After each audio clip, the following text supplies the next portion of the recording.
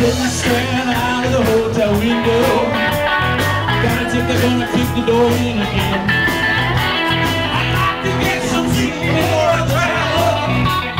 You got one, I to